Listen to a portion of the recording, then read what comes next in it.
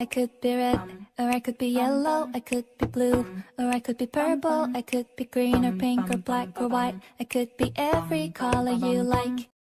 Siblings, siblings, siblings, siblings. This is my sister. This is my brother. We are siblings and we care for each other. Everything we own, We always share because we are siblings and we have the same hair.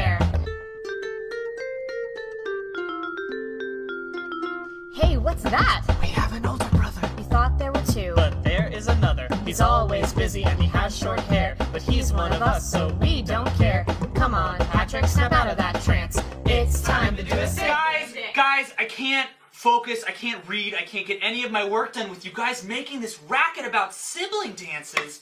And I don't have time to do a sibling dance.